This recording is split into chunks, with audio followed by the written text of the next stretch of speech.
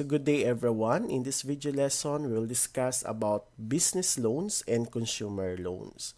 Our objectives illustrate business and consumer loans and distinguish between business and consumer loans.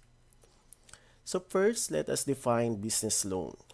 It is a money lent specifically for a business purpose. It may be used to start a business or to have a business expansion. So, for business, no? Talaga, makikita mo siya na for business lang talaga. Okay? Consumer loans, it is a money lent to an individual for personal or family purpose. So, pag sinabi nating loan, so nang hiram or nangutang, oh, pwede rin, right?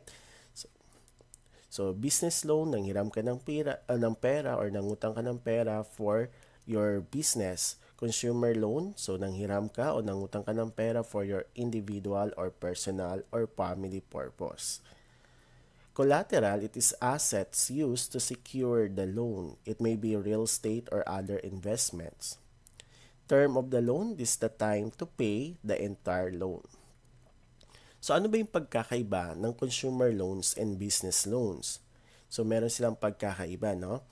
In consumer loans, first, Loans given to individual for personal or family purpose, while business loans are loans for business. So another, sa in collateral naman, consumer loans and business loans may require, so both consumers and business loans require to have a collateral. Consumers loans do not usually require a guarantor, pero sa business loans, require the business owners to sign as guarantors. Okay? Another, sa consumer loans, the lendee has to submit a credit report, income tax returns, and the company financial statement.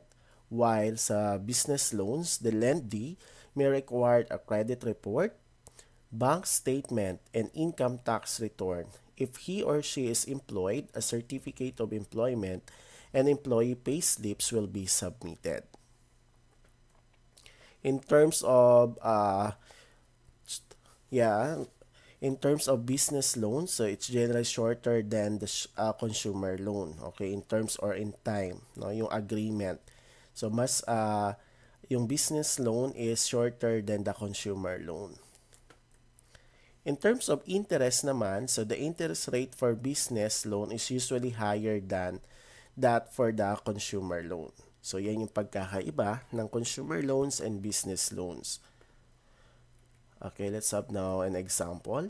Identify whether the following is consumer or business loan. Number one, Mr. Agustin plans to have a barber shop, so he wants to borrow some money from the bank in order for him to buy the equipment and furniture for the barber shop. So, makikita pa lang natin sa scenario na it's about it's for business, no? Kasi gusto niya magtayo ng barber shop. So, nanghirap siya ng pera for, para sa plano niya na uh, for, hair, for barber shop, no?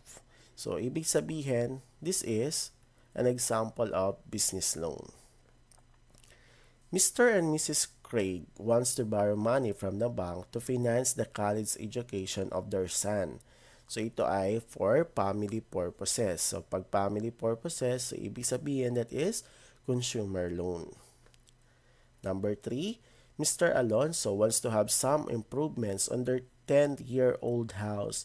So, he wants to build a new room for their 13-year-old daughter. So, he will borrow some money from the bank to finance his plan. So, what do you think? Business ba to or consumer? Yes, this is a consumer loan kasi it's uh, for personal purposes, yung hiniram niyang pera. Hindi naman for business. Another, Mr. Samson owns a Show My Food Cart business. So he wants to put another food cart on a new mall in the other city. So he decided to have a loan to establish the new business. So uh, kitang-kita naman na this problem or this example is an example of business loan. Kasi about for business talaga yung uh, purpose niya. Rowan has a computer shop. She owns six computers. She decided to borrow some money from the bank to buy 10 more computers. So, what do you think? Pang personal ba to niya or for family purposes? Or this is for business? Yes, this is for business loan kasi meron siyang computer shop and then uh, she decided na dagdagan no yung anim niyang computers dagdagan niya ng 10 no 10 more computers so that is business loans I hope uh, naintindihan yung pagkakaiba ng business and consumer loan.